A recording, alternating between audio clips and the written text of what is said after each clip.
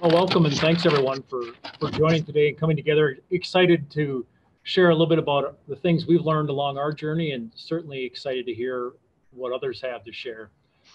Iron Range Engineering started in 2009. It was an adaptation of the Aalborg University model, so it's nice to go right after them and show what we've done to build build off their work.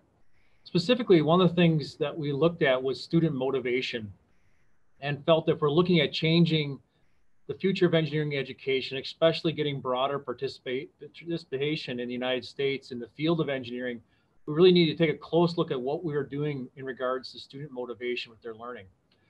And our development focused quite a bit around the work of Deci and Ryan and self-determination theory, and really looking at the three needs of motivation according to them around autonomy, competence, and relatedness. And autonomy is really where students especially are the agent of one's own life they've got that control over, over their choices and destiny.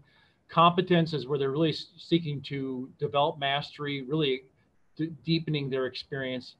And relatedness with self-determination is really looking at they're willing to interact with one another being connected with one another and really developing an experience of caring for one another. And we talked about the session talking about interdisciplinary this becomes very important as you we have that relatedness as we look to work across disciplines.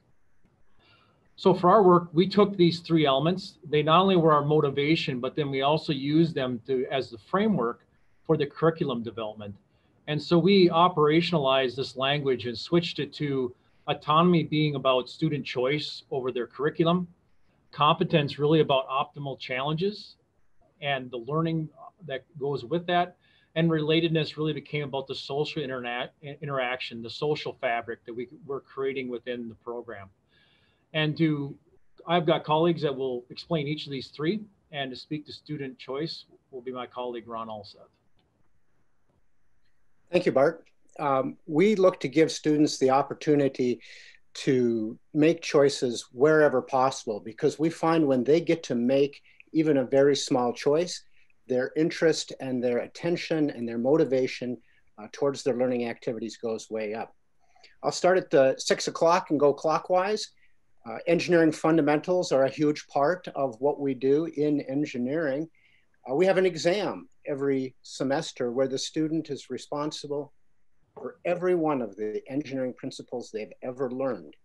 And for any particular student, there might be 60 or 70. We've got one of those exams going on tonight. We let them choose which 30 do you want to be examined from out of the 70 principles that you are responsible for. So an opportunity to make a choice. Uh, moving around the clock here, our students all give TED Talks and they get to choose which, uh, what is the topic of their TED Talk each semester. Next up, we work on design teams, just like the Aalborg model. We give students the opportunity to select their top three choices from the design menu every semester. We do everything we can to get them into their top choice or their second choice. Every week we do journals, uh, three about 20 minute long journal entries that students must uh, write about, reflecting on and processing their learning. We, we uh, um, prompt the first two of the journal entries, but we let them pick a topic for the third journal entry, an opportunity to make a choice. And we even go so far as we're giving holiday gifts this year. And we gave the students the choice. Would you like a coffee mug for your holiday gift or would you like a travel mug for your holiday gift? Again, getting them to make the choice and buy in. Next up, an optimal challenge is my colleague, a student engineer, Gabby. Hello. So as a junior at Iron Range Engineering, one of the ways that I've been challenged to think like an engineer is CIOPS. CIOPS is an exam that we do, and it stands for Creative, Innovative, Open Ended Problem Solving. Uh, we do it each semester. Mine was this past Wednesday, and students are tasked to solve an open ended engineering problem using the knowledge and skills that we learn in our classes.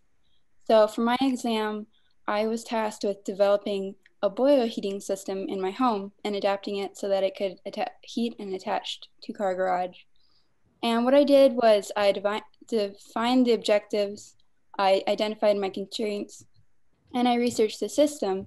And then I drew these diagrams and applied equations from my fluid courses uh, such as the Darcy-Weisbach equation. And so then for my exam, I got to meet with two professional engineers and I explained my process and they let me know uh, what I could do to do better and what was good. And so CIOPS really allowed me to use the design process to solve an open-ended problem. And it gave me confidence in applying calculations from my classes to a real world engineering context. And I found this to be especially motivating, especially as a student, because it allowed me to see the connection between what I learned in my classes with the systems that are in use all around us. So CIOPS is a great way for us to achieve an optimal challenge for students while motivating them to become the engineer they want to be. And next I'm going to turn it over to our director, Christine. Thank you, Gabby. And I'll be talking about the social interaction piece of self-determination theory. And at Iron Range Engineering, we are very intentional about how we do this because we want to create a supportive and collaborative working environment, not a competitive one. So there are a lot of different aspects to this in a wide variety of range. Uh, the first one is all of our teams. So we have project teams just like Aalborg, and all of them are set up in project rooms. It creates a collaborative, open space for students to communicate with one another. We also have lunch speakers. A variety of different uh, engineering professionals come in and talk to our students about what life is like on the other side of school. And what's unique about this is our project teams are assigned a lunch speaker and they have to determine what the menu is and actually have to cook the meal for the rest of the student body. We are on a first name basis. All of our students and our faculty and instructors know each other on a first name. And along with that, our faculty offices are always open. So we have an open door policy. We understand that students are going to have questions at any given time. And so they can quite literally walk in and ask faculty questions and for help.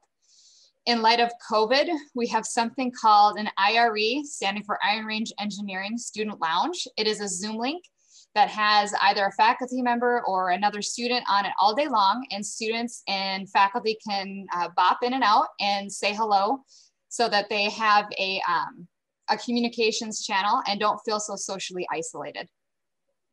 Our program is also vertically integrated. So we have upper division students, which is the third and fourth year of engineering, be facilitators on lower division, which is first and second year engineering students. So on lower division project teams. And then on the upper division teams uh, that I talked about earlier, just like Aalborg, uh, they are vertically integrated. So first semester third years are with second semester fourth years.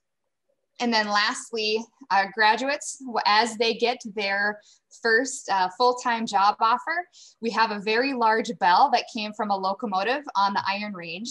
And when they accept their first job, they get to ring the bell and it becomes a community celebration. It's not just a celebration of the student, but also the celebration of the community. So everybody comes into our largest room, all of the students, faculty, and staff.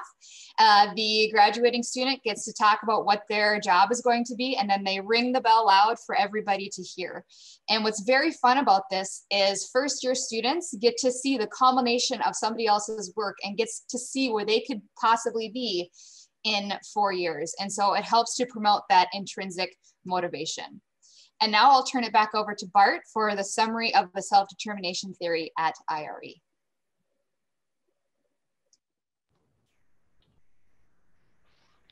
Thanks, Christine.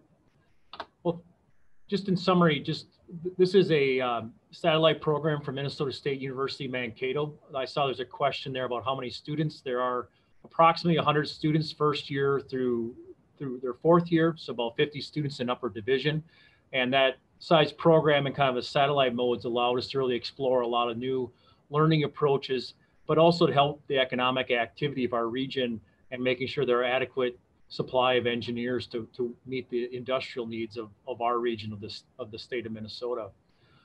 So one thing we'd like just leave you with is there are other aspects of the program, but we really feel that the self-determination theory is, is an important framework for us to consider in engineering education. If we really are looking to diversify the engineering field, we're looking to engage a broader set of students in that work, really have to look at what motivates them to enter the field of engineering.